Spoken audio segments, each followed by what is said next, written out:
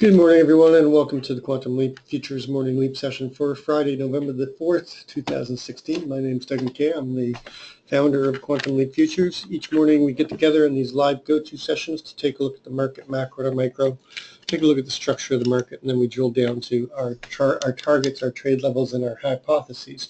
We create multiple hypotheses in order to have a plan in place for whatever the market throws at us. We do not know what the market is going to do.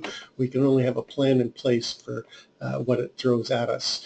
Uh, this is a subscription service. If you're uh, interested in checking it out, send me an email at quantumleapfutures at gmail.com. There's no website. There's no blog. This is not a commercial venture. We do things here live every day in the go-to, in the pre-market session, and then uh, do live trading and analysis in the uh, RTH session. Please read through the disclaimer. Novaea Quantum Leap is a certified trading advisor. We are retail traders operating within a self-organized learning environment. Past performance is not indicative of future results, and any trades see in Quantum Leap are for education purposes only. Please trade your own due diligence, your own trade plan, and your own risk metrics. Okay, so what happened yesterday? Well, we just absolutely chopped for the whole morning. Uh, this was just dreadful, dreadful.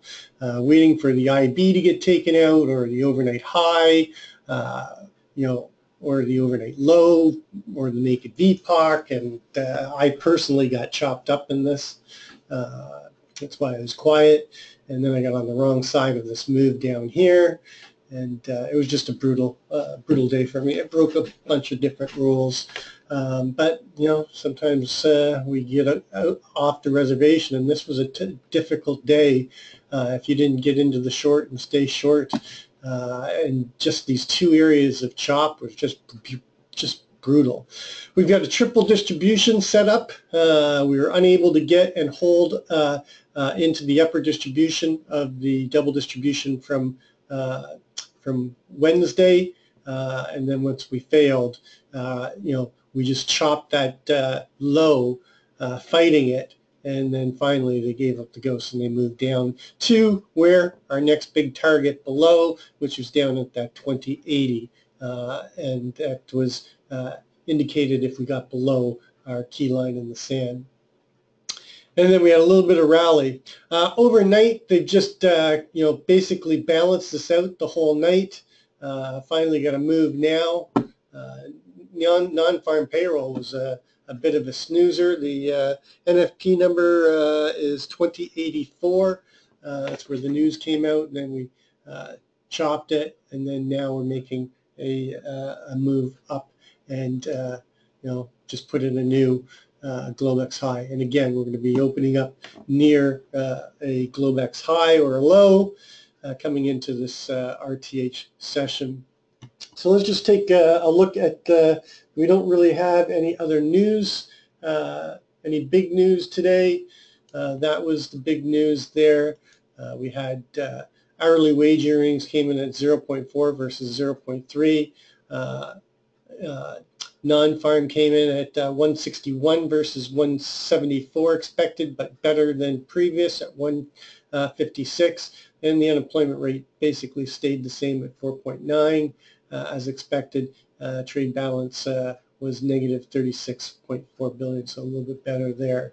And then unemployment change uh, was much better um, uh, in Canada, and unemployment rate remained the uh, the same. We have uh, Canadian Ivey PMI, um, and then we've got Fischer speaking, but that's basically at the end of the markets. so nothing really big there. Um, taking a look at the macro to the micro, you can see that uh, you know we're open the month at uh, 21.2350 and we're still uh, moving down. We're breaking below the nine and coming down to test the uh, the uh, 20. That 66 area is going to be very important to us uh, today, but you know we are challenging the trend and going sideways with the possibility of, of a move down. going to the weekly, you can see that we've uh, we've broken below the 9 and the 20 and we've got a possibility of a, uh, a move uh, down and a start of a downward trend. Going to the daily, we do have acceleration of the trend down.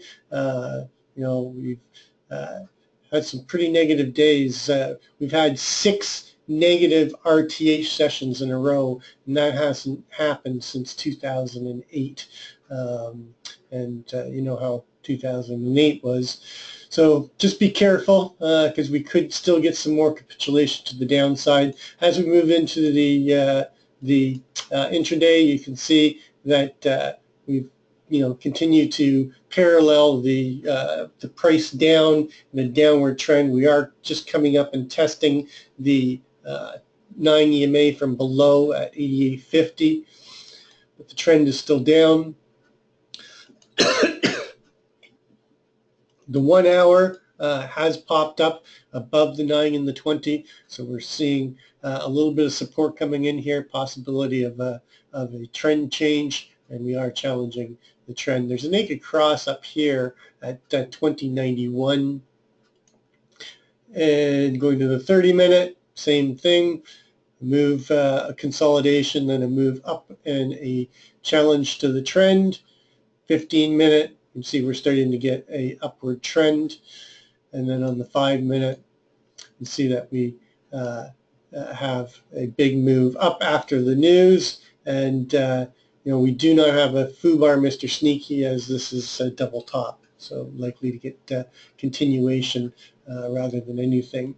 Taking a look at the structure of the market, you can see this is what I was talking about right here is, uh, is this this one, two, three, four, five, one, two, three, four, five, six uh, RTH sessions. We fell out of this balance up here, coming down.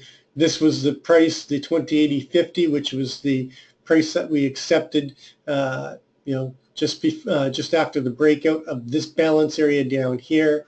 Uh, you get the 76.50 value area high. Uh, that's going to be a very uh, important level because if we get back in uh, below that, then I'd be pushing for the 72 and then that uh, you know all important level 6650 and then we're back into this balance which we spent most of the beginning of the year uh, chopping around in. Um, there's not much to guide us in the longer term here right now. Um, you've got uh, the 98, which is a three-day microcomposite VPOC, but the, we're unable to hold that, and we've pushed lower. Uh, we're currently trading just uh, below the three-day uh, microcomposite value area low, um, and uh, in this thin area of the uh, of the profile. Um, so there's not a lot we can use. we have to go to the shorter time frame really uh, to uh, try to get a bead on this because you know unless we get uh, you know, below yesterday's open and come down and challenge this, you know, then I'd be looking for them to uh, walk our way back up towards that uh, 90 area. Um, but it's anybody's game right now. Our, oops, Our overnight session is basically balanced, neutral to slightly positive now. Um, and we're, you know, looks like we're going to create this, uh, this uh, upper distribution here and put in a little LVN at 86. Um, so our overnight low is 80, 50. Our current overnight high, which is likely to get broken, is 88 and a quarter. Um, we're probably going to put in a, a new overnight high uh, even before uh, we get into the R RTH session. 88 and a quarter. Our VPOC is all the way down here at uh, 82.50. It did shift down here, so you can see that there was strong buying coming down. Uh, we were uh, having our VPOC up here and then started shifting down and then it shifted down on that move down on the uh, on the uh, uh non-farm news uh, and then you had strong buying coming in and they've rotated it up six and three quarter points. So hopefully that's the buyers coming in and and holding us. 8250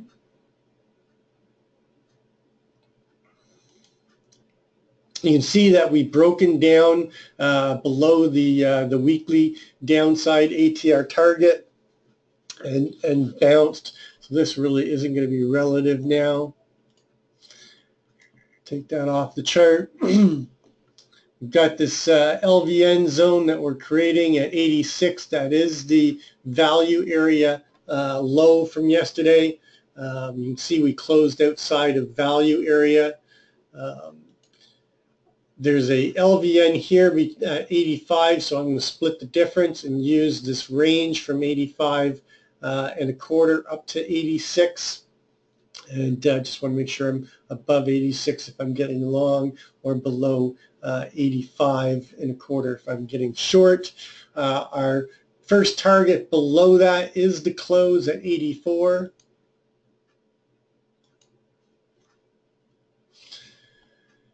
And then the naked VPOC at 8250 from the Globex session, and there's really not much more I can get from there, so just get rid of that. And then taking a look at what we've got uh, below, uh, our uh, overnight high being 88 and a quarter, our daily ATR um, is running at 1999.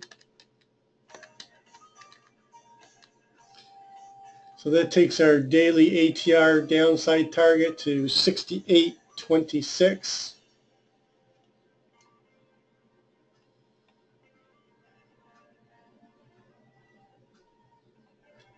And then off of the overnight uh, low of uh, 80.50,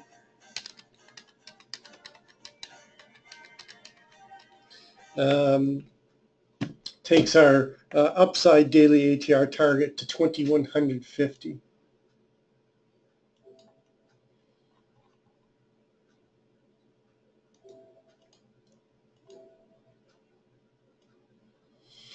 All right, and then we've got the triple distribution, so we do have to pay attention to the two LVNs. The target uh, uh, above the 86 is uh, is going to be the 80, 8750, but you've got the overnight high rate there, so uh, you could use either one of those. But because 87 and a quarter was the uh, prior day low uh, on uh, on Wednesday, I'm going to use that as a target. and then above the uh, the 91, your first target will be the 93 CHVN and then, of course, the uh, naked VPOC here at 95. Value area high uh, is not going to be important in here, but you can use it for continuation because I think if we get above it, uh, I'd be looking for a move to take out the high and that uh, 98. And then you've got the uh, 2100 uh, and the daily upside ATR target. Above the uh, 2100, 0350. And then all our all our uh, levels remain the same uh, above there. Not that I think we're going to to get up there, but you never know. You never know. And then uh, below uh, below the 86, the first target is 84, then 82, and then you've got the overnight low with the uh, with the range low from the prior day at 79, 76 or 75, I should say. And then below that, you know, we've got that uh, uh, uh, value microcomposite value area high at the 76 and a quarter.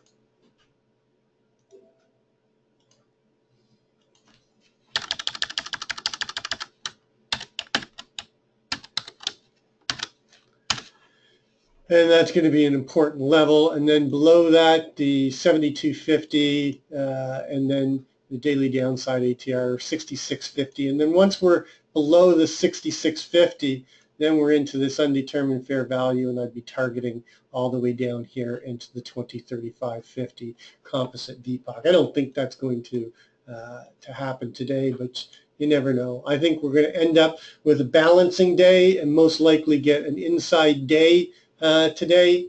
Um, so my main hypothesis is a open auction in uh, in range, maybe in value.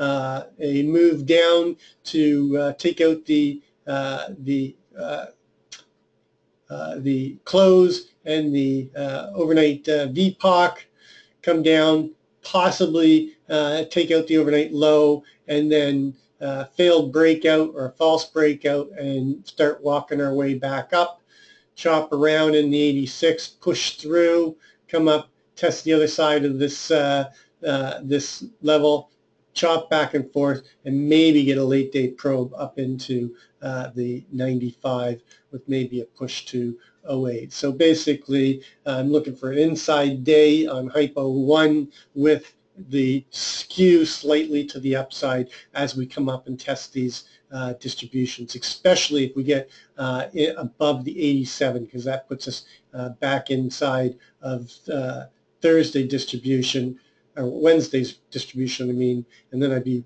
watching uh, that 95 level because that's the LVN from uh, the two distributions uh, on that day. Hypo 2 is an open auction in range, a push up through, testing the 91 area, push through, take out the 90, 95, maybe up into the 97, but somewhere here finding uh, sellers and then rotating us back and basically just chopping uh, inside of uh, the range or value uh, and get an inside day.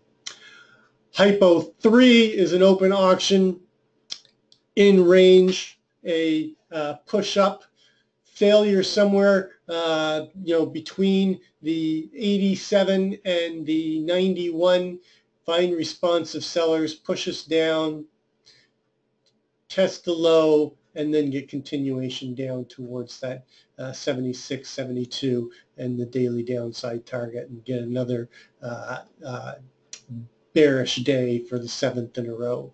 And then Hypo 4 is an open auction in range failure to uh, break outside of the uh, of the uh, uh range low and then move up and chop around in the up distribution and then push through into the 2100 and come up here uh, in towards that 2106, 2108 area.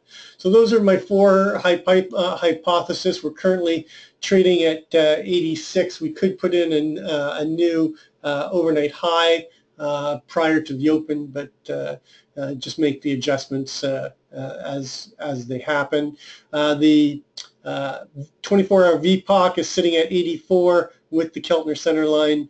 Uh, and if we hold that, a move to the upper Keltner is going to take us up into that 90 and, uh, and uh, test the middle distribution and the midpoint and the VWAP from yesterday. If we break below that, a move down to the lower Keltner is going to take us down into the 78 and a break uh, of the uh, of the range low uh, as a possibility. That's going to complete our pre-market session. As always, trade well, trade safe, and we'll catch you on the flip side.